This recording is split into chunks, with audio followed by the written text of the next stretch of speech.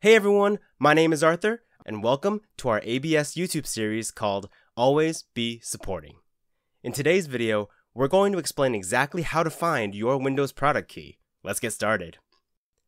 First, click on the Windows Start icon at the bottom left corner of your screen. Then, type the letters CMD. This will bring up the icon for Command Prompt.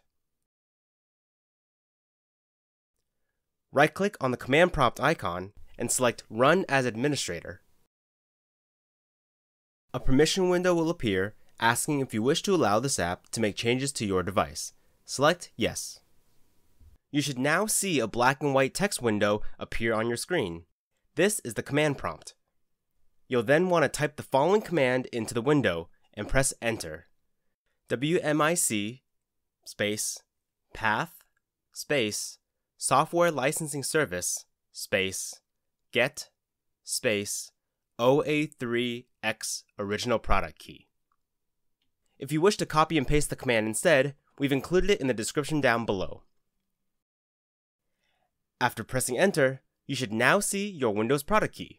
You can now copy, paste, and save this product key anywhere you'd like. Just make sure it's in a safe and secure location.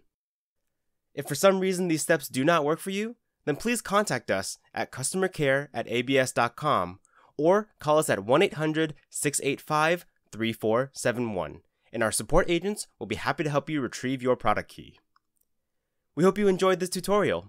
If you found this video helpful, then we'd really appreciate it if you could hit that like button and subscribe to stay informed about more videos like this. Also, let us know what other tutorials you'd like for us to post by commenting down below. Thanks for being a part of the ABS community, and we'll see you next time.